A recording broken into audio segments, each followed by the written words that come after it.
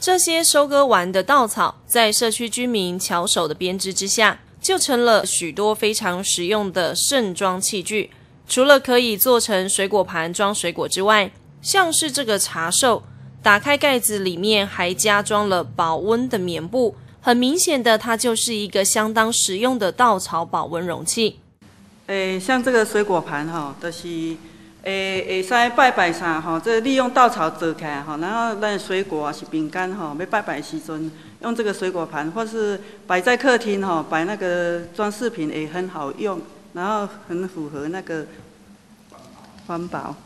呃，还有这个茶寿也是利用那个稻草编织成的哈。数十样利用稻草编织出来的容器，每一个都有它的用途。而当初会想利用稻草来做这些容器，除了要传承老一辈人家的技艺，最重要的还是这项手工品能够将稻草再利用，十分的环保。你甲想看，稻草咱甲烧掉嘛，无无钱啊，对无？啊，咱甲摕来编这个物件吼，啊，佮会当保温哦，啊，做足济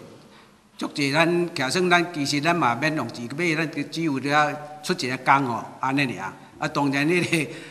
当然这个就是有省钱的作用吼，啊，佮兼环环保吼，啊，佮咱个社区遮嘛有，因为大家平安尼，啊，有一个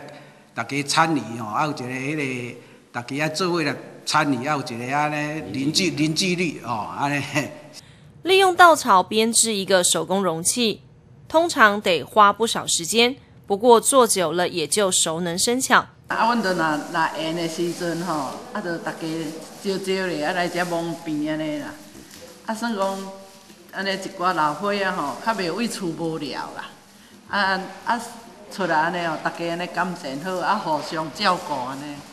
只要有时间，当地的居民就会三五成群的到社区活动中心来编这些稻草容器。除了打发时间之外，因为大家经常相处，社区居民的感情也相对的更加融洽。公益频道许维珍大春采访报道。